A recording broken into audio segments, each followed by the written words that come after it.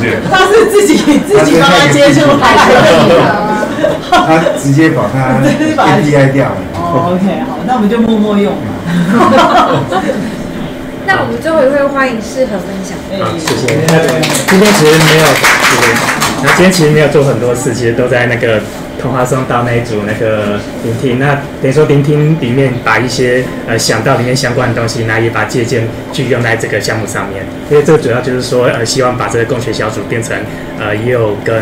呃包含借鉴合作者和道里面一些生态系。那里面呃其中今天在听的里面一个比较重要就是说。呃，一开始在讨论就参与者的共同需求是什么？对，那如果是以农业合作社，当然就是说，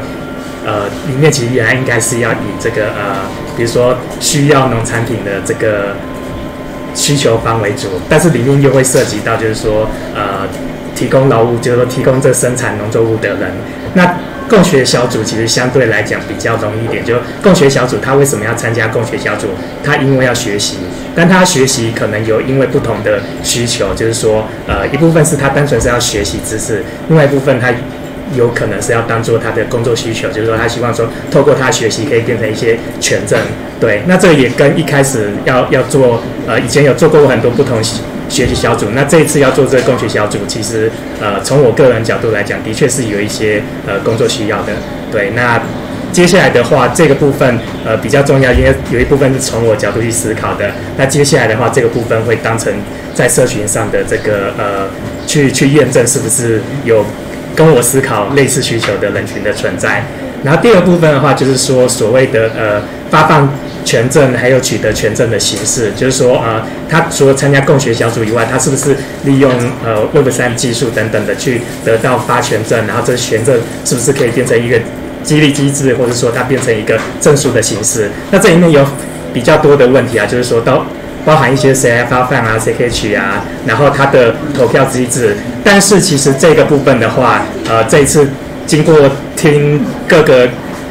特别是农业合作社这部分的话，我觉得这部分或许我应该是要把它放在第二步才去思考，就是说前面应该还是 focus 在就是说核心，就是说为什么大家要去参加共学小组。那这边也呃稍微记录一下，就是说呃如果之后这个东西要用各种的发权证方式，包含区块链的话，它里面可能会涉及到哪些技术，然后呃每一个不同技术的一些。呃，优缺点关系。那到最后执行层面的话，就是说，呃，它会变成有两个部分，一个是说共学小组的这个呃集聚，这个应该是比较核心的部分。那第二个部分是共学治理小组，因为这里面会牵扯到一个问题，就是说，呃，有兴趣参加这样子形式的治理的人，他或许不是我一开始设定的这个参与者的目标。那这两个东西，它要谁先谁？谁后应该是第一点，还是以这个呃共学小组的社群，那个社群聚集。那这下面的行动的话，其实诶比较像是从我个人角度去出发。那他在五月会去做做一个测试，就是说，因为呃就是说它是以 ESG 和永续发展共学小组为一个主体的。那等于说，因为呃一些一些人他去学习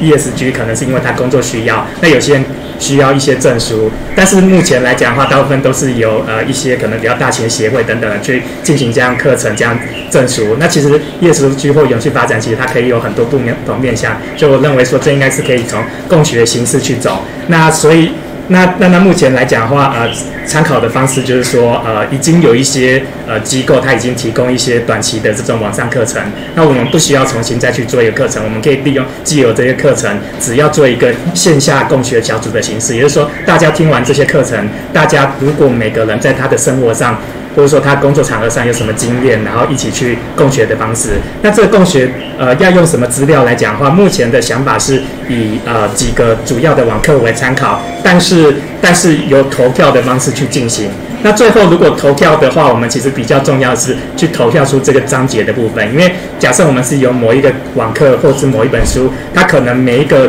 呃书想要讲的东西不一样，但是会有一些大的主题，其实可以被被定义出来。那在接下来会依照这个呃每一个标题去进行每一次的学习。那每一次的学习为什么是这样做？就是说呃因为呃牵扯到如果有些人他没有听，他没有有时间去上课，那他又需要呃进来参加，然后他又想要提供意见的话，他是不是可以给他有一个提供的空间？那所以就是说他会依照共学小组的心得，或者说他对于这样子标题他自己工作上的经心得可以进行进行一个分享。那后面的话，这个这部分是呃这部分比较。这这上面部分应该是比较可以实践，然后最下面这部分就是说，呃，想象上，但是未来在自己小组是不是可以这样做，可以去思考，就是说，呃，从登记参与者，然后他的，呃，他是不是可以有，就是说每个共学参与者，每个人进来他都得到一个权证，就是说他有参与权证，另外他都可以进行投票，就是说哪一个分享者对他的帮助最多多，那透过这样子的方式的话，呃，去包含包含就是说他也有他共学的这个。权证，但是他也可以获得，就是说，哎，有些人帮助你比较多的这个权证。好，谢谢。